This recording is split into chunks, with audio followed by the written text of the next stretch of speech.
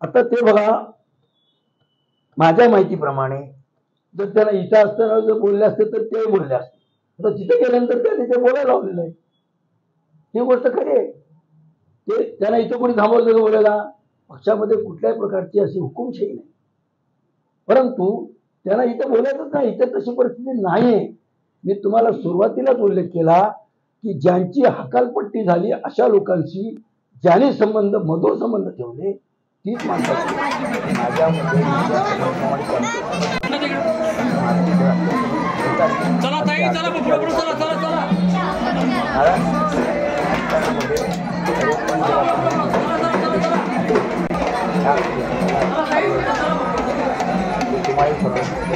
आणि म्हणून भविष्यात त्यांचं नुकसान होणार आहे त्यांचा ऱ्हास आम्हाला बघावा लागणार आहे ही आमच्यासाठी चांगली गोष्ट नाही.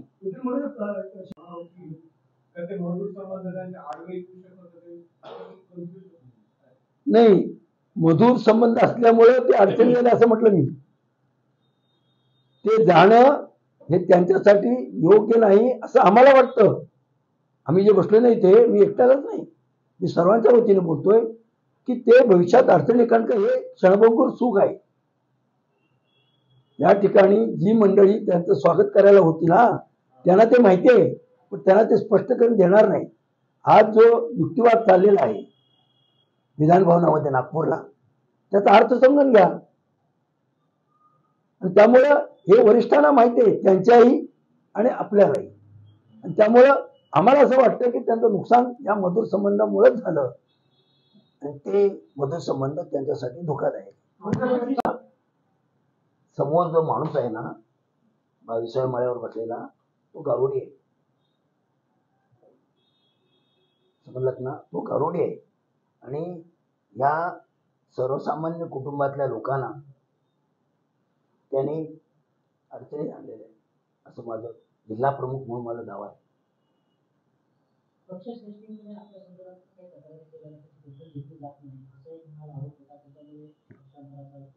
समजलं नाही नेमका प्रश्न. माझ्या संदर्भात? अच्छा.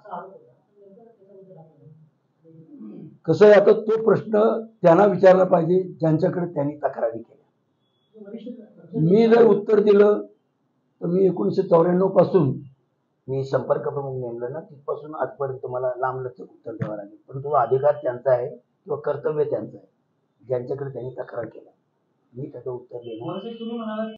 हा वैयक ह्याच्यात संघटनात्मक आहे. तिथे तिथे जाऊन संघटना सुधारणार आहेत का? तिकडे जाऊन ते उद्धव बाळासाहेब ठाकरे पक्षाची संघटना सुधारणार आहेत का? त्यासाठी गेलेत का नाही? त्यांच्या वैयक्तिक अडचणी वैयक्तिक त्यांचा स्वार्थ यासाठी ते गेलेली मंडळी आहेत.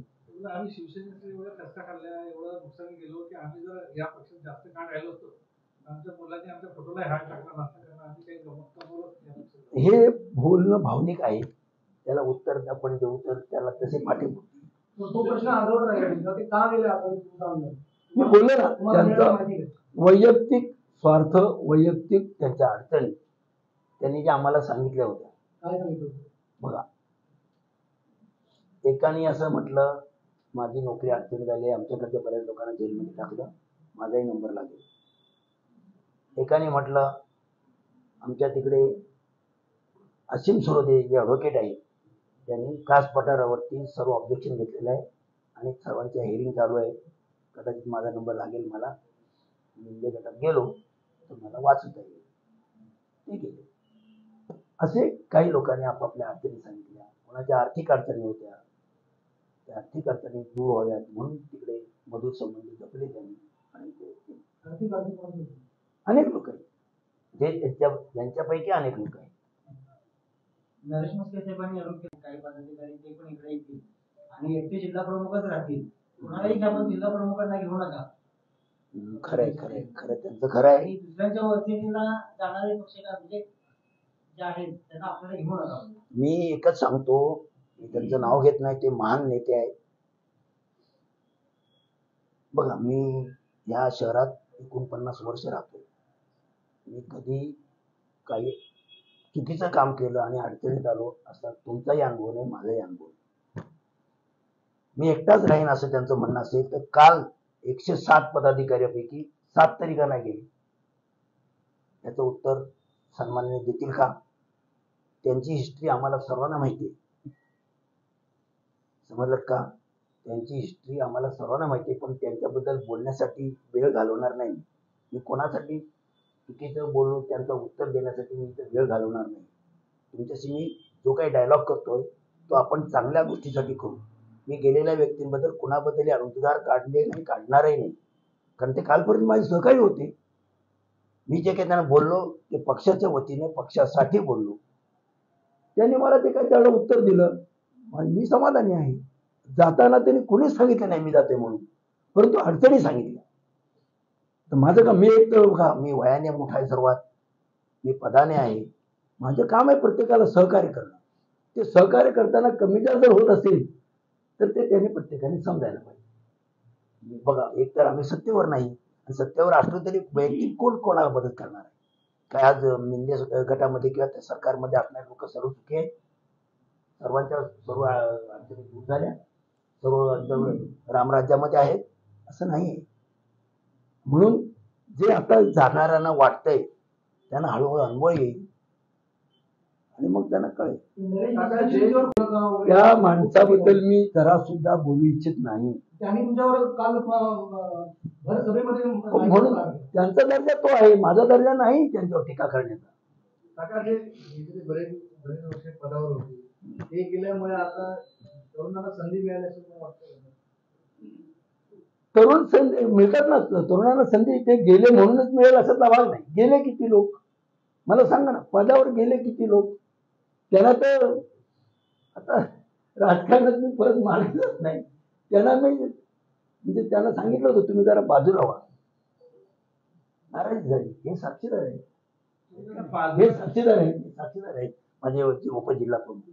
गेल्या काही महिन्यापासून बाजूला केल्यामुळे खटखट वाढली होती असं मला कोणालाही बाजूला केले नाही. जर पक्षासाठी काम करण्याची वेळ आहे या वेळेला जर तुम्ही कामाचं बिलकुल जबाबदारी घेत नसाल तर पक्षाचा जिल्हा प्रमुख म्हणून त्यांना बोलणं काम करून घेणं ही माझी जबाबदारी. वाटतं. नवीन पद निर्मिती केल्यामुळे गेले काही नवीन पद पक्षात निर्माण होत असतात. ते करायला पाहिजे. पक्षाची जर प्रगती करायची असेल तर तुम्हाला ते करणं भाग आहे. मी यातला अनुभवी माणूस आहे. त्यांच्याबद्दल सुद्धा त्यांच्याबद्दल सुद्धा पक्षाने निर्णय घेतलेले आहेत. काही दिवसात ते होते एकदम होत नाही या गोष्टी. बाकीचे एवढे जे लोकांच्या गळ्यात अं, हे शिवसेनेचे मफलर म्हणा किंवा काय म्हणतात मला टाकलं ते ते लोक कोण होते मग? एकशे चाळीस लोक सांगण्यात आले. अहो आता बघा मी तिथे नव्हतो परंतु जो फोटो दिसला त्यामध्ये मी तुम्हाला नावं सांगण्याची गरज नाही. सहा लोक होते इन्क्लुडिंग ते आमच्या मुलीचं नाव काय? अश्विनी. तिला धरून ती युवती अधिकारी कधीतरी तुम्हाला दिसली का? तिचा फोटो मी स्वतः बसून बॅनरवरती छापायचो. आता तिच्या केसामुळे तिचा नेमका चेहरा ओळखीला यायचा नाही. माझ्या नातीसारखी आहे ती लक्षात घ्या तुम्ही. मी स्वतः बसून फोटो छापायचो तिला. त्याचे साक्षीदार आमचे हिरामण भोईर आहे म्हणून त्या कामाला कामाला न्यायालय म्हणून पण त्याला पद दिलेलं आहे. पक्षाने जर पद दिलं तर तो प्रोटोकॉल मेंटेन करणं पक्षाच्या पदाधिकाऱ्यांचं काम आहे. म्हणजे एकशे सातचा धावा करून काढला. एकदम खोडून म्हणजे ते सात पर्यंत गेले नाही शंभर तर सोडून द्यावं समजा तो एक मागे तोंड लपवतोय. चिबिडीचा माणूस. तो चेहरा पुढे आणला नाही कोण? बरोबर बरोबर बरोबर. चिबिडीतून एकच माणूस गेला.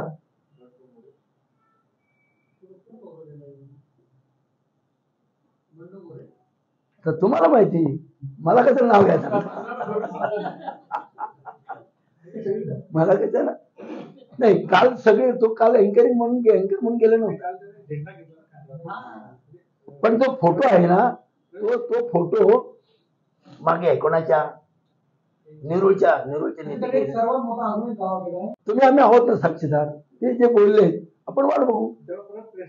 मी मी असं मग त्यानंतर परत चहा देऊ. परत ढोकळा खाऊ.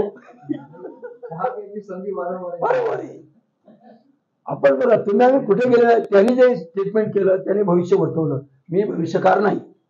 मी वस्तुस्थितीवरती बोलणारा कार्यकर्ता आहे.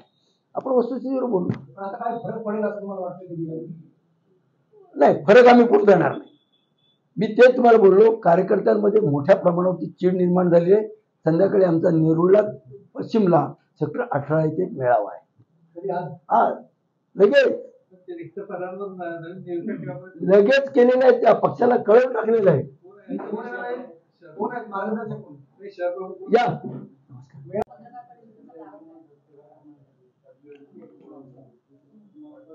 काल मिंदे गटाच्या माध्यमातून अनेक वृत्तपत्रामधून उद्धव ठाकरे पक्षाला खूप मोठं नवी मुंबईमध्ये खूप मोठं खिंडार पडेल अशा प्रकारच्या बातम्या आल्या.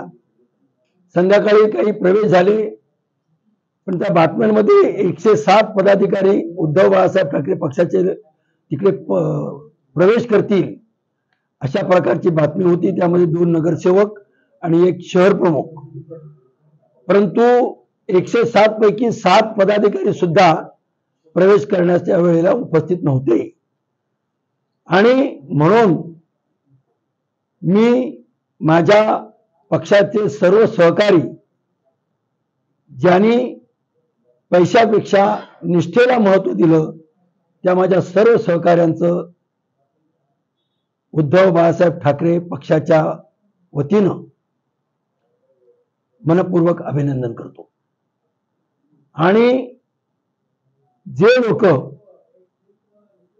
त्यांच्याकडे गेलेले आहेत चार पाच सहा काही त्यांचं ज्या वेळेला एकवीस जून दोन हजार बावीस रोजी शिवसेना पक्षामध्ये फूट पडली आणि शिवसेना उद्धव बाळासाहेब ठाकरे पक्षामधील काही लोकांनी पक्षविरोधी कारवाई केल्या. त्यांच्यावरती हकालपट्टीची कारवाई झाली. हकालपट्टीची कारवाई झालेल्या नेत्यांशी ज्यांनी मधुर संबंध ठेवले त्यांच्यावर आज त्या नेत्यांनी अडचणीची परिस्थिती निर्माण केली आणि त्यांना पक्ष सोडण्याची परिस्थिती त्यांच्यावर आली याचं मला दुःख होते. आणि यांचा रास आम्हाला बघावा लागेल याबद्दल आम्हाला खरोखर मनापासून सर्वांना खेद होतोय.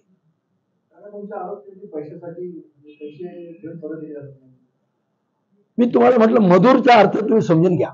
मधुर संबंध म्हणजे पैशाचे संबंध ठेवले व्यवहाराचे संबंध ठेवले. मात्र ते करत असताना मी बोललो तुम्हाला बावीसाव्या मजल्यावर बसणाऱ्या व्यक्तीनं गारुडी व्यक्तीनं ह्या गरीब आणि अज्ञानी लोकाला फसवलेलं आहे. ते परमेश्वर त्याला माफ करणार नाही. कारण हे शिवसेना उद्धव बाळासाहेब ठाकरे पक्षाचे सहकारी होते. त्यांच्यावर आमचा राग नाही कारण ते अज्ञानी माणसं आहेत. त्यांना ह्या माणसाने फसवलेलं आहे. सध्या माझं एवढं स्टेटमेंट आहे. त्यांना शुभेच्छा.